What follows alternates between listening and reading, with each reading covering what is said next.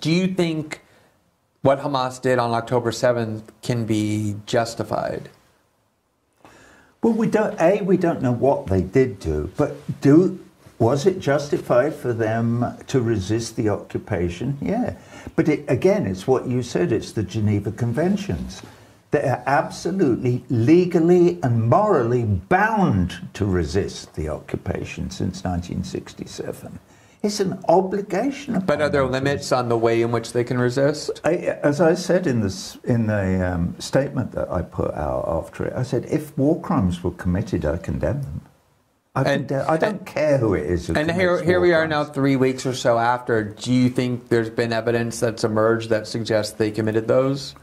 There may have been individuals. Th- what I, I was reading a news story this morning, which uh, Grey Uh-huh, our friend Max Blumenthal. So there's a long story which I read this morning, but they've Haaretz have finally come out with figures of how many people were actually killed and who they were On that day, were. uh-huh. On that day, Yeah. yeah. And so probably the first 400 were Israeli military personnel.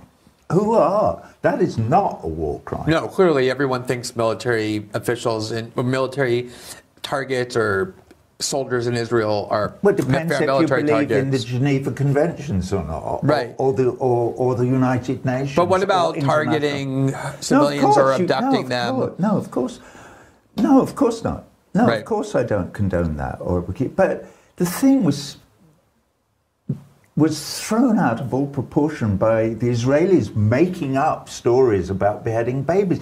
They even got the president of the United States, dotard that he is, to claim that he had seen photographs Of the beheaded babies. of the beheaded babies. Yeah. And then admitted that he then actually didn't. Yeah. I Um, mean, I mean, you you know, it's it's. But what we do know is whether it was a false flag operation or not, or whatever, or whatever happened, and whatever story we're going to get to, and we we don't know if we will ever get much of a real story. It's very. It's always hard to tell what actually happened. They're calling it their 9/11.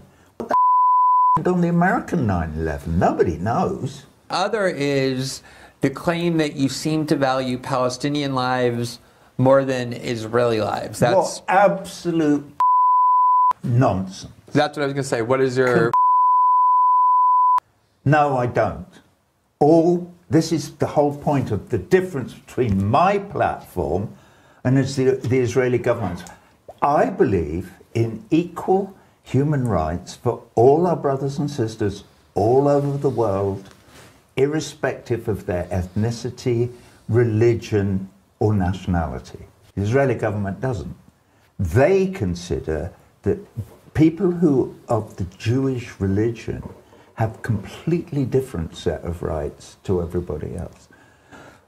This is fundamentally important. I'm 80 years old. Mm-hmm. This is the most horrific thing to happen in front of my eyes.